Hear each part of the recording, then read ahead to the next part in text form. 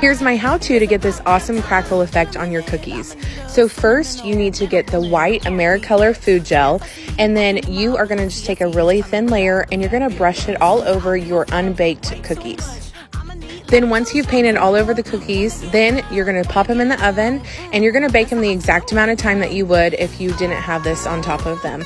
And then voila, there you go.